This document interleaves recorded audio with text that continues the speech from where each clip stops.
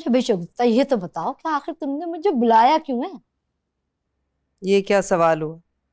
रिश्ते कराती हो ना तो रिश्ते के लिए बुलाऊँगी। मेरे नवीद का रिश्ता करा दो। ये तो मैं उस वलीमे वाले दिन ही समझ गई थी। ये बताओ कि तुम्हें किस तरह की लड़की का रिश्ता चाहिए? जैसा तुमने शेख साहब के बेटे का कराया ना बिल्कुल वैसी लड़की ढूंढो मेरे नवीद के लिए। अमीर पढ़ी लिखी।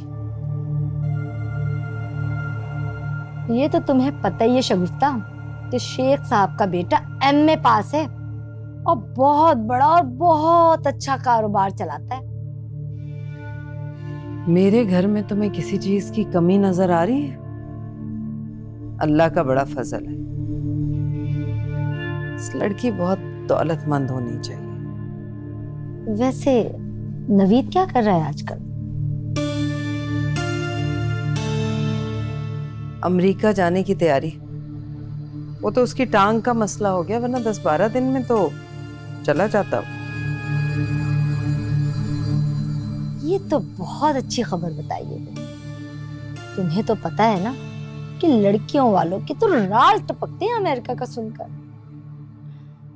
बस तुम समझो कि अमीर लड़की का रिश्ता हो गया।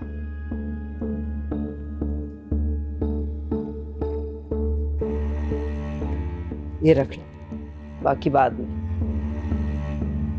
वैसे तुम्हारा दिल बहुत बड़ा है शगुफ्ता। तुम्हें पता है शेख साहब ने मुझे ये रिश्ता कराने के पूरे पचास हज़ार रुपए दिए थे।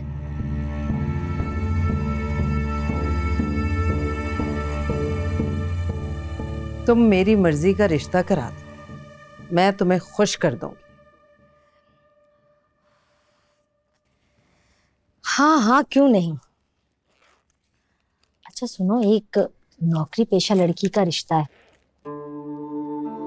तुम्हें तो पता है क्या आजकल लड़के वाले इसी तरह की लड़की का रिश्ता ढूंढते हैं, जो खुद भी कमाए और ससुराल वालों को भी खिलाए।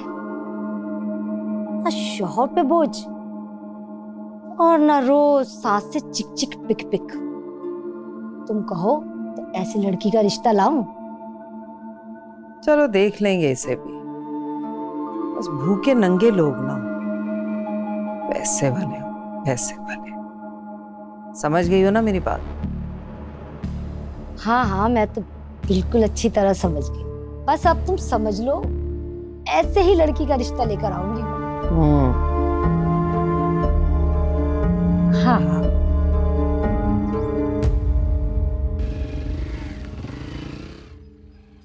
माई कार इज़ हियर तुम्हारी गाड़ी नहीं आई अब तक? हाँ आने वाली होगी बस। शुड आई वेट नहीं तुम जाओ। ओके चलो nice meet you bye Anam तो तुम्हारी गाड़ी नहीं आई अभी तक? पहुँचने वाला होगा। तुम जाओ। अनम वो हेलमेट वाले लड़का तुम्हें क्यों इशारा कर रहा है? कोई नहीं। हाँ हाँ वो बाइक पे तुम्हारी गाड़ी आ गई। हाँ चलो फिर मैं चलती हूँ हाँ। अल्लाह हाफिज़।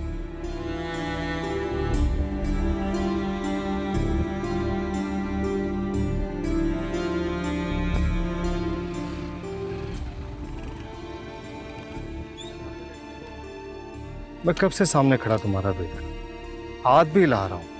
आ क्यों नहीं रही थी तुम मैंने तो आपको देखा ही नहीं। आइंदा ऐसे मत करना मैं तो लेने नहीं आऊँगा। तू खुद ही बस पे आ जाना।